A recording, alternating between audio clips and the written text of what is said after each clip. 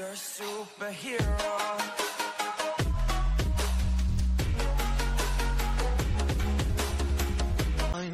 My brain feels heavy, my traumatized mind. And I'm so tired, I can't feel my eyes. Whoa, whoa.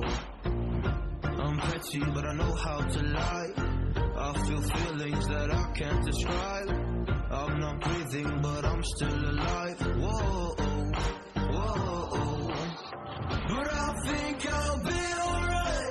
I'm not giving up, I'm not giving up yet. I feel that it's my time. So I'ma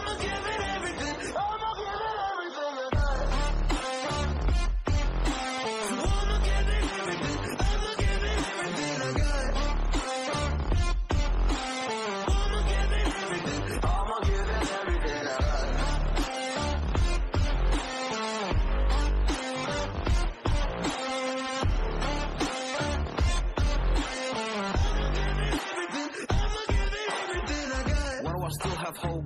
So many days have passed. I wait around for things to change, but change is not come fast. I'm asking all the questions, but then I question them. Like, what's the point of living existing when you can't see?